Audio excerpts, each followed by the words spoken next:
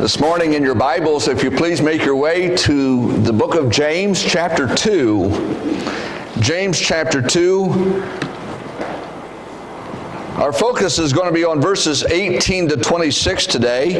This passage that James is writing about, he's dealing with faith without works is dead. And he's talking about First of all, we've seen dead faith, which indeed is faith, like he said, without works, any evidence. It's dead. That's an intellectual assent. Remember, we talked about Josh McDowell's testimony that he went several miles and he, he, spent a lot of hours trying to doubt and defeat the teaching of the resurrection of Jesus Christ. As he was in another country and he was studying he saw that in his studies that there was, uh, after 700 hours, he came to the point to say, it's true. The teaching of the resurrection is true. But Josh McDowell went on to say that it was for several months later that he acted on what he knew to be true that it was a hit on the ego and the pride that he said, I'm reliant upon Jesus Christ who went to the cross, who died there for me, who was buried and rose again the third day. To place his trust, to rely upon what Jesus did. And so that reality of the resurrection, that truth, it shows that he said he wasn't saved until that point in December of 1959, several months later. That was when, his, when he was saved.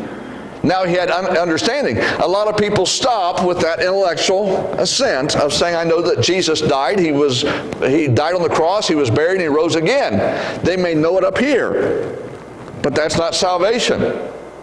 That would be called, James said, dead faith.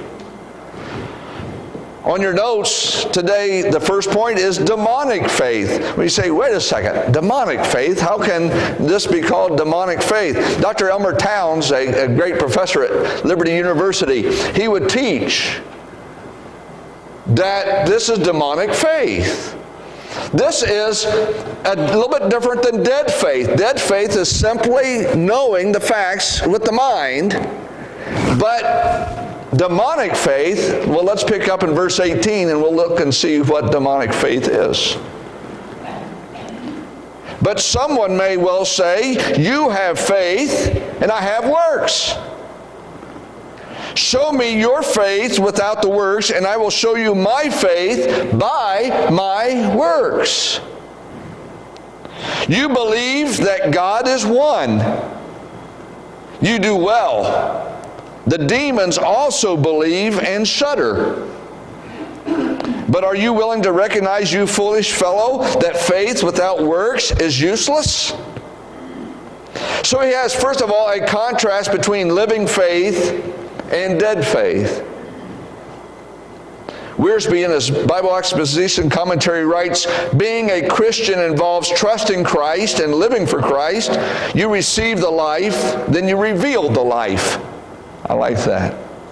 You receive eternal life at the point of salvation. Jane, er, the Gospel of John, chapter 3 says, He who believes in the Son has life right now.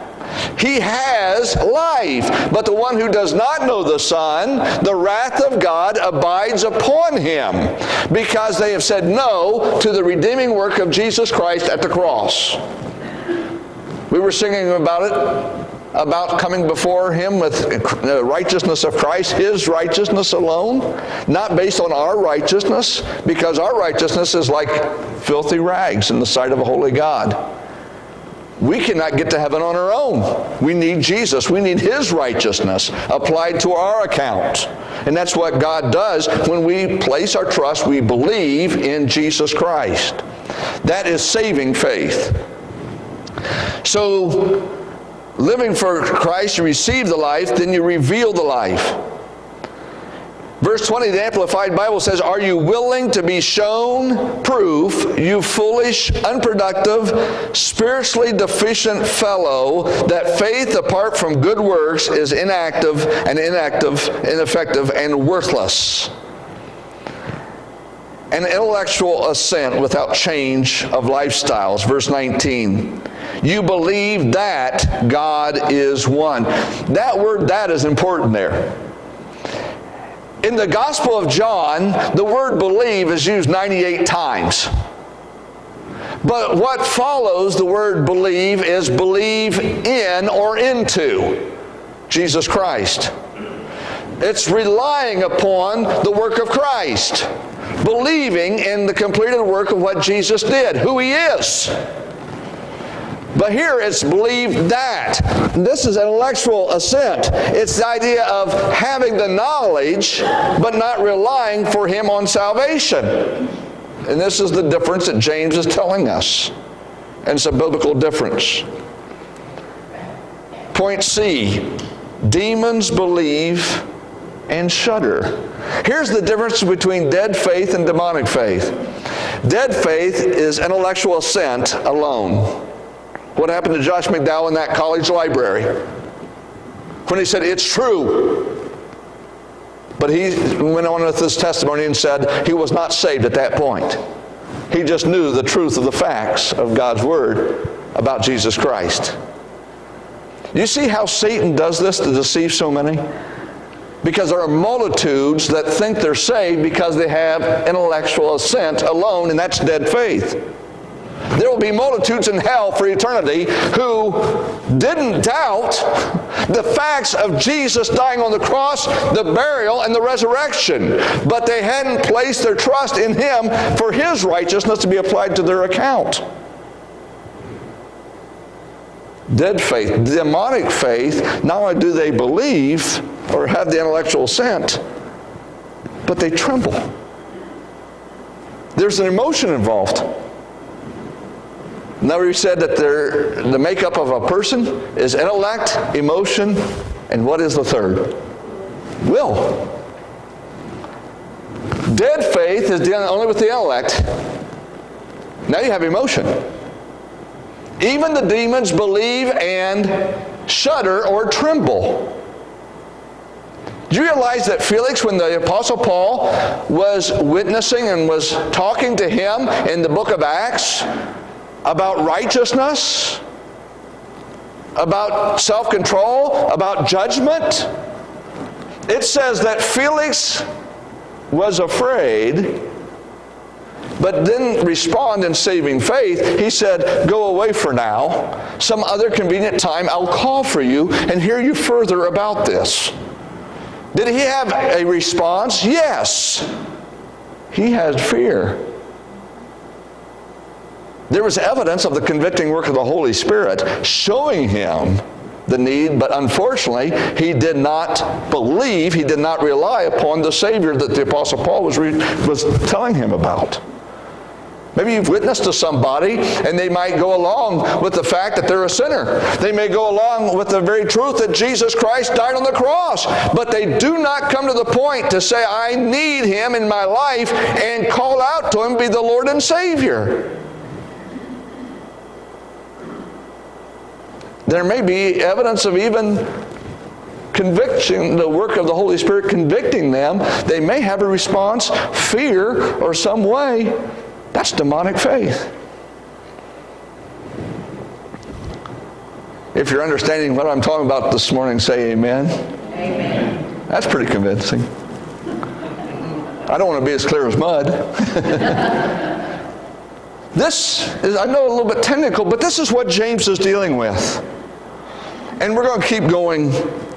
Demons believe and shudder. I'm not going to look at these passages I have on your notes, but I really want to encourage you to get in and see this. First of all, demons believe in the deity of Christ. They know He is the Son of God. They know who He is. Demons believe in a place of punishment. Remember, they said, Oh, don't send us to the abyss. There's that herd of swine that we can go into them. They didn't want to go to the place of abyss. They believed and knew of a place of punishment. They had that understanding. Demons recognized the authority of Jesus. They said, Send us to them. They understood that he had the authority, the power to do that. Demons submit to the power of his word because they did as he spoke. Obviously, that's not saving faith. But they believe and tremble. So there may be individuals respond to the sharing of the gospel in that manner. And and Satan loves it because they think that they're right with God. They think they have salvation, but they do not biblically. They have demonic faith. See how Satan counterfeits? He's the great counterfeiter. You see that in the book of Revelation. What will happen during the tribulation period? The church raptured up, and then you have the tribulation period and the Antichrist. The Greek prefix anti not only means against, it can mean instead of. Instead of Jesus Christ.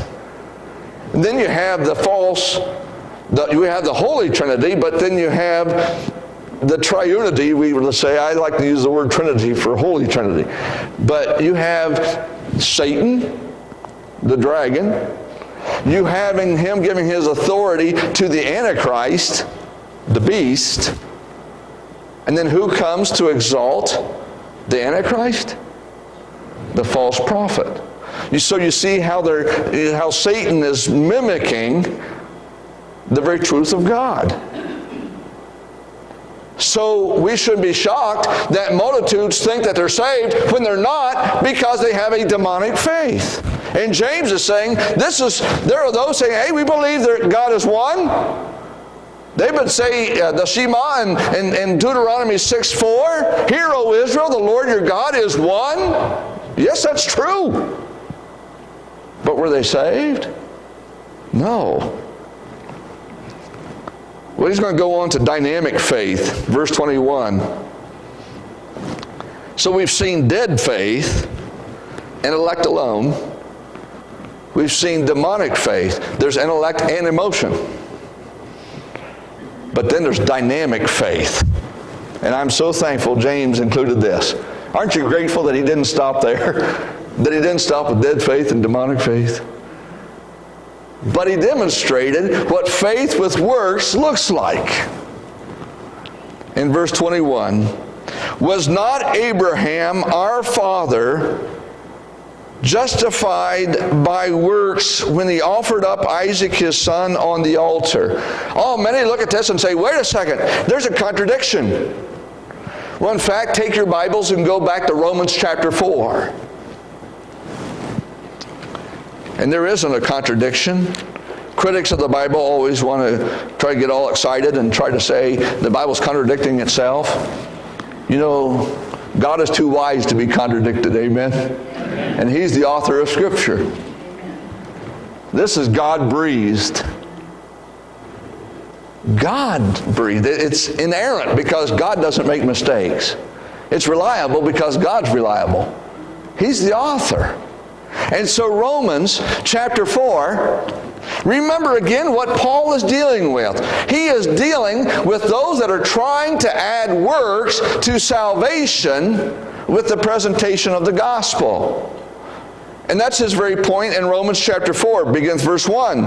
What then shall we say that Abraham our forefather, or according to the flesh, has found?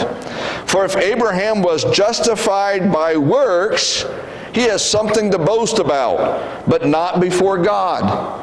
For what does the scripture say? Abraham believed God and it was credited to him as righteousness. That's Genesis 15 6. Not only does the Apostle Paul quote that, we're going to see in just a minute that, that James quotes that same passage. That's quoted in Galatians, it's quoted here in Romans 4, and it's quoted by James in James 2. That very truth of Genesis 15 6. Abraham believed God, and it was accounted unto him as righteousness. So, how was Abraham saved? By faith. He believed God. And it was accounted unto him, righteousness was imputed into his account. And Paul went on to say, now, to the one who works, his wage is not credited as a favor, but as what is due. But to the one who does not work, but believes in him who justifies the ungodly, his faith is credited as righteousness. So when we're saved, we are declared righteous by God because of our faith in the Lord Jesus Christ in his completed work. So he gives he credits us with his righteousness. Now, people don't go around and saying, I feel justified today. It's an act that God does. He's done it. He declares righteous. He did that with Abraham. He does that with us today. And it's on the same basis. Not by works, by faith in the Lord Jesus Christ. So back to James chapter 2, since we have just seen what Paul writes. So is this a contradiction if he's saying that Abraham our father justified by works? Well, it helps to see point A under dynamic faith is true saving faith leads to action. True saving faith leads to action. You receive salvation by faith to reveal it. That the Lord is working through us. See, people think it's us trying to generate it ourselves. We cannot generate those works by our flesh. It's we're allowing God to be working through us. It's that great truth of Galatians 2:20. I have been crucified with Christ. It is therefore no longer I who live, but now it is Christ who lives in me, and the life I live in the flesh I live by faith in the Son of God who loved me and gave himself up for me. It is what Christ is doing. It's Christ in me. It's a, the Holy Spirit, what He is doing, exalting Christ in our lives. He's the one who is doing the works. It's the fruit of the Spirit. Galatians chapter 5. It's the fruit of the Holy Spirit, His work in the life of the believer. So justified by works, notice what Charles Ryrie in the Ryrie Study Bible notes. In Paul's writings, justification means to declare a sinner righteous in the sight of God. Here in James, it means to vindicate or to show to be righteous before God and men. To show righteousness. That the person is declared righteous in the sight of God. But now it's revealing it to men. And he's going to give us the example. In verse 22, you see, well, actually, verse 21 was not Abraham our father justified by works when he offered up Isaac his son on the altar? You know what's interesting? This is between 30 and 40 years after Abraham was justified when he believed on God in Genesis 15. About 30 or 40 years later, God tells him, Take that promised son, Isaac, in which your descendants will be, and you are to go and offer him up as a sacrifice on the altar at Mount Moriah. You are to take him and do that. Now, did Abraham pass the test? Yeah. What happened? He obeyed God. He obeyed God. Genesis 22. 30 or 40 years later, you have the clear evidence that he trusted God. And so that's the point that James makes. When he offered up Isaac his son on the altar, you see that faith was working with his works. And as a result of the works, faith was perfected, or the idea of completed. Abraham's offering of Isaac demonstrated the genuineness of faith and the reality of his justification before God. James is emphasizing the vindication before others of a person's claim to salvation. That's what MacArthur notes. In verse 22, listen to the Berkeley version of that passage. You see how faith, how his faith cooperated with his works, and how faith reached its supreme expression through his works. And then verse 23, and the scripture was fulfilled, which says, And Abraham believed God, and it was reckoned to him as righteousness. See James quoting that same passage? It was fulfilled. James wasn't saying that Abraham was saved by some works back there in Genesis. No. He said he was justified by faith. He, when Abraham believed God, it was accounted unto him as righteousness. He was declared righteous in God's sight. But then it was made evident to everybody by his act of obedience the ultimate act of obedience of being willing to go and to offer up his son in obedience to God in Genesis 22. That proved the reality. It's kind of that saying, the proof is in the pudding. The proof is there. We're not saved by works. But a dynamic faith, a true saving faith, will give evidence. We don't confuse that with some type of instant sanctification that, oh, we're saved and we arrived, you know, some sinless perfection. No, that's not the case. But it's a process that begins at the point of salvation and doesn't end. Who's the ones that like to try to argue this? Those that have the intellectual assent, those that have the dead faith. The one that says, I'll show you my salvation. You, you can talk about your works, but I have my faith. And then he says, But what if I show you my faith by my works? Those works accompanied with true salvation that is revealed to man. And you always have to go back to the audience. Is James dealing with the same issues on justification that the Apostle Paul was? Well, the Apostle Paul had those that were trying to add works to salvation by trying to keep the law. The Judaizers were big opponents of the Apostle Paul. James isn't dealing really with the Judaizers. You know who he's dealing with? He's dealing with those that are saying, oh, yeah, we believe these facts. Abraham was our father, so we know we're right. We're going to be in the kingdom. We're saved. That's enough. That's who James is dealing with.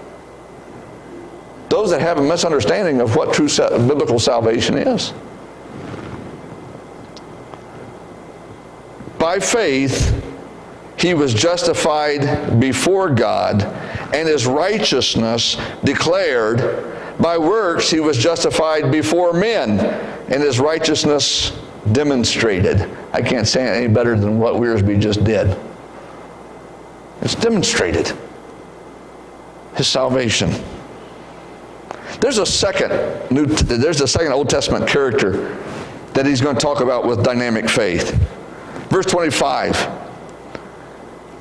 In the same way was not Rahab the harlot also justified by works when she received the messengers and sent them out by another way. You can read about her story in Joshua 2. The, the spies that came to Rahab's house. They came to Rahab's house because not only was she a harlot, but she also was like running an inn. And that was the place that they came to stay. She came and she said, Our hearts are melted because we have heard what God has done and how He brought the children of Israel out of Egypt, what He did there at the Red Sea. We have heard all about it, how He defeated these great kings. Our hearts have, are, are melt, she was saying, the people there. But what happened? You know how she was saved? The exact same way that Abraham was. She believed God. She didn't even have a, a lot that she knew, but what she knew, she believed and she trusted. And she gave evidence to that trust. She gave evidence. It was what she did. Now, she was saved by faith, but it was demonstrated by what she did. Isn't it great that we have that example? You have Abraham, and now you have a Gentile harlot, who, by the way, ends up in the lineage of our Lord, Jesus Christ. She is in the genealogy of Jesus Christ. And what a powerful example of dynamic faith. James ends this section in verse 26 For just as the body without the spirit is dead. The word death means separation. Separation is when somebody's spirit, when the spirit separates from the body. That's death. That's death.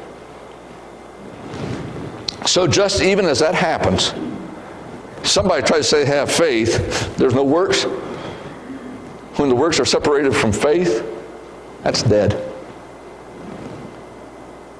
That's dead.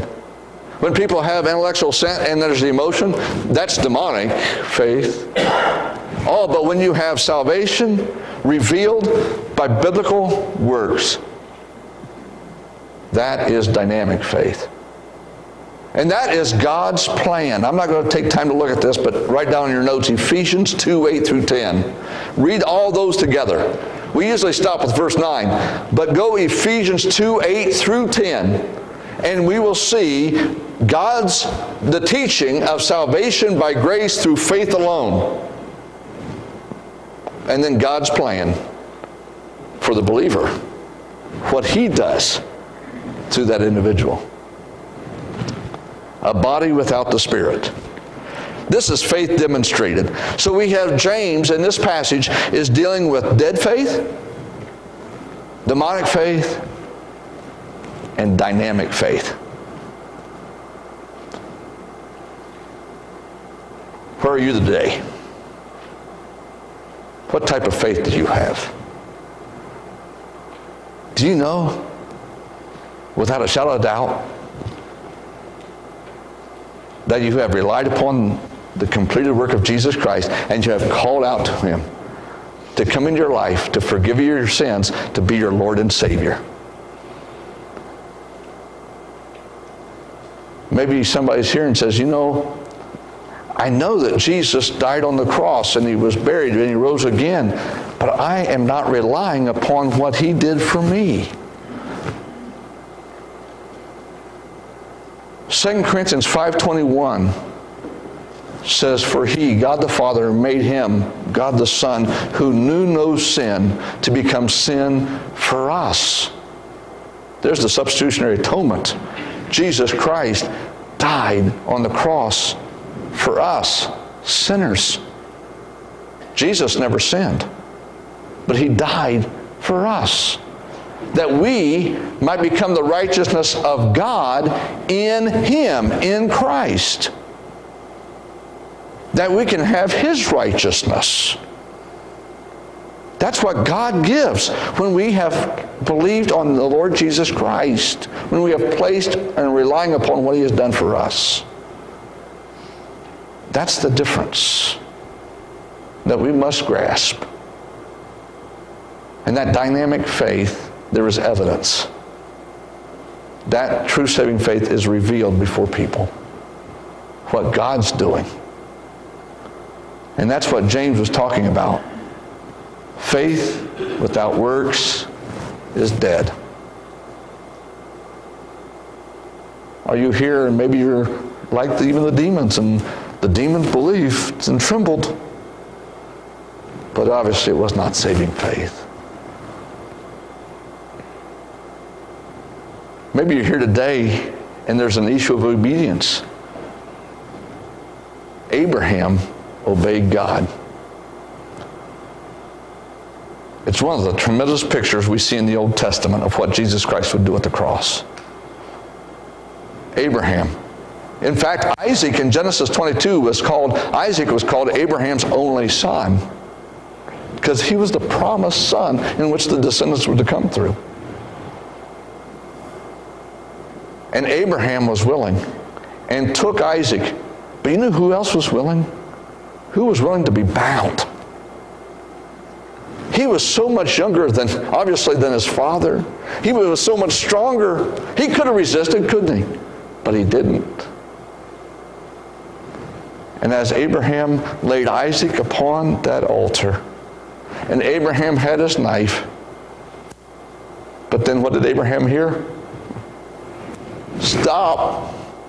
For now I know that you are not withholding even your own son. He passed the test. But, friend, many years later, on the cross of Calvary, as Jesus Christ took our sins upon himself, there was no voice that said, Stop. Because Jesus Christ is the good shepherd who give, nobody took his life, he gave his life. He gave his life. Back here in Genesis 22, it says that this place is Jehovah Jireh. The Lord will provide. It was provided. Jesus finished the redeeming work. Abraham's act of obedience. Jesus, the willing Lamb of God who gave his life for us. You might say, I know I'm saved. I just ask you this question Is there some area where you're not living in obedience to Him? And are you willing to say, Lord, I'm sorry for being disobedient to you, and I want you to have your way in every area of my life. When we would pray that, hallowed be your name, I want your name to be honored in every area of my life, Lord. And where it's not, that I would be faithful to confess that to you and forsake that sin. Let us pray, and then we're going to have invitation. Father, we come to you right now. We thank you that we see in, in this passage that there was examples of dynamic faith, true biblical faith, and it was demonstrated. And oh Lord, we would ask that we would be surrendered to you and allow you to be doing a mighty work through us. What you do, it, it's not a, a sense of pride of works here saying, look at what I've done. Because everything that is done in our lives, it's by grace, your grace. The Apostle Paul would say, I am what I am by the grace of God.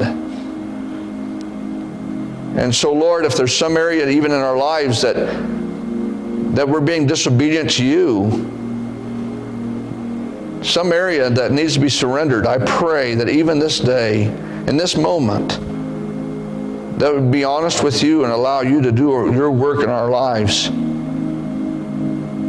Have your way in this invitation. We pray, whatever the needs that we would come, that we wouldn't put it off, but we would come even this day. In Jesus' name we pray. Amen. Would you please stand as we